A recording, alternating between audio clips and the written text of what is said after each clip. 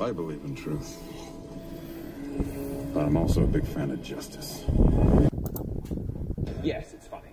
It's absurd. Dude, we gotta talk about this. Hey, what is up, YouTube?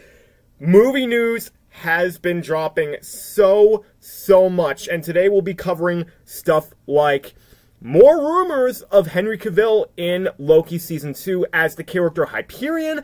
We got some more news about Ben Affleck in Aquaman 2, and even a title change for the project that I mentioned in the last video, The Dark Apprentice.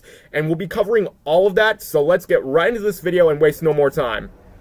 So let's talk about Henry Cavill first. There have been multiple rumors stating that he has gone back to I don't know where it was. It was probably like LA or something like that. But my mom has found out that the rumors state that he has gone to be fitted for a new suit. Now, a lot of people can say that this is probably for Black Adam or something like that, because rumors have stated that he's going to be fitted with a new, brighter Superman suit. But where the heck am I going to get a new You suit? You can't. It's impossible. So, if these rumors are not true, somehow, which I doubt they are, but seriously, he could be fitted for who knows how many suits. And I think that one of the suits could possibly be for the big dog himself, Hyperion. I'm sorry about the shot, but just, uh, this is the best one I could get so far. And, uh, anyway, I mean, seriously, Hyperion in Loki Season 2, I mean, how awesome would that be? And the fact that Henry Cavill is going for a new suit? I mean, this is an entirely new suit. As you can see, red, gold, the atom symbol, absolutely looking nothing like the classic Superman suit with the big S and the blue, the red, the yellow, all that stuff. And numerous reports have stated that Hyperion, as Henry Cavill, is going to be in Loki Season 2.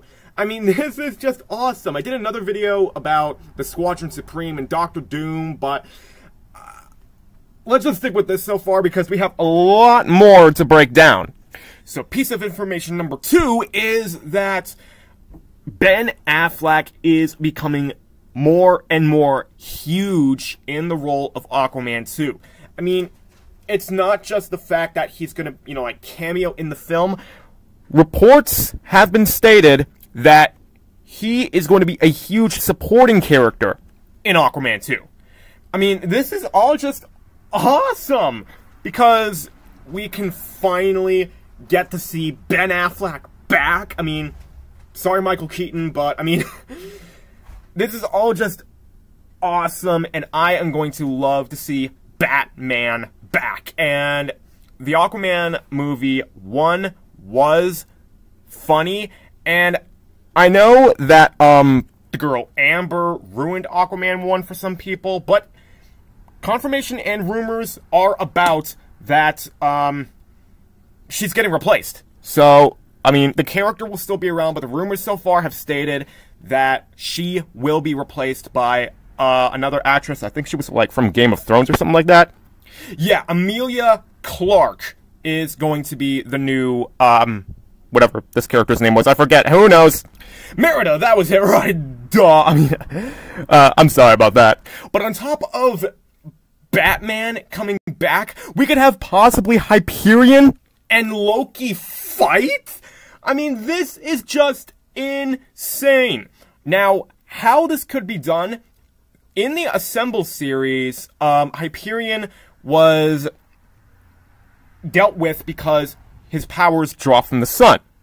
And such a case could be similar here, because in the Assemble series, Captain America stole the, uh, the Spectrum from Dr. Spectrum and literally turned the sun blue because Hyperion's powers ran on a yellow sun. Well, Loki could simply just take Hyperion to a world that does not have a sun. Perhaps Jotunheim as a suggestion? And ouch. I mean, that's going to have some huge, huge feels for Loki, especially due to the fact that he hates Jotunheim and that basically, I mean, I wouldn't blame him for hating it. I mean, that's the world that he was rejected from. I mean, even by his own father. I mean, that's just insane. No offense, Laufey, but you're a terrible father. And the last news is about the change of title of The Dark Apprentice. It has been retitled The Acolyte. And it has also been and this is all coming from Mikey Sutton. Now, he is so reliable. I mean, he's done all those Spider-Man rumors, he's unleashed this Ben Affleck rumor that's been going about, and now he's saying that this movie will be diving a hundred years back into the past. That's further than any Star Wars project that we've ever gotten, and it's going to be about the one, the only, mentioned in Episode 3, Darth Plagueis. Now, I just have to say, the way that uh, images portray him, he kind of looks like Scipio, those people from the uh, the banking planet. Um, I know, again, the image is just, I, I really tried my best. But that also means we'll get the story of Plagueis trying to bring people back from the dead and trying to keep people alive and stuff like that. And we'll get a younger version of the Thunderfingers himself, Darth Sidious. Now, in episode 3, it was explained that Darth Sidious basically killed Darth Plagueis. Why? Because he was the one who is most likely Darth Plagueis' apprentice, and he was the only one who knew the story of how Plagueis died. Because, first off, he said, I believe that it was like an ancient Sith story, and, well, I mean, in episode 9, he uh, explained that he was basically all the Sith. So, um, yeah. So yeah, we're finally getting a uh, story about Darth Plagueis and a younger adaptation of Darth Sidious. I could also do a fan cast for like a um a younger version of Darth Sidious, but a uh, I would probably save that for another video if I wanted to. B, the character of Darth Sidious sucks to me. So, uh, that's basically it. Make sure to like this video, share with your friends, Comment down below what your favorite movie is from the Cinematic 7 and who your favorite characters are or character. So you can enter that giveaway for three comic book posters on September 30th. All you have to do is subscribe, comment down below what I just said. And um, I'm also still looking for a uh, any more recommendations for the Dragon Man subscriber channel family name. And uh, I mean, so far I believe the only one that has popped up is Dragon Clan. If you guys like that, leave it alone. If you don't, keep throwing more suggestions at me. So anyway, that's pretty much the end of the video. Respect for all you guys out there. And um, I almost forgot to mention, I know there's a lot of Loki variants out there.